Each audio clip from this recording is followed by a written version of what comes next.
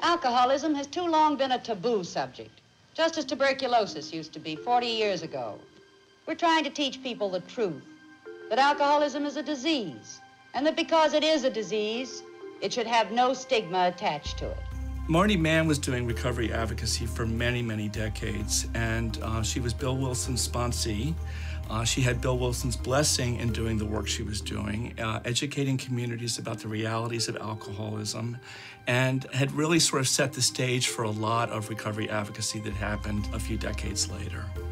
Marty got sober after just horrendous time with alcohol and not understanding it was a disease. And she began traveling around the country with Dr. Bob and Bill W. And she experienced the stigma, no programs, no services for alcoholics and their families. And she said, this is terrible. We need to do something about it. And Bill and Dr. Bob said, we can't, but you can. Alcoholics should be dealt with like other sick persons, in hospitals and clinics, not in jails. Alcoholism, America's fourth greatest public health problem, can be solved by community action. The National Committee stands ready to help your community plan such action.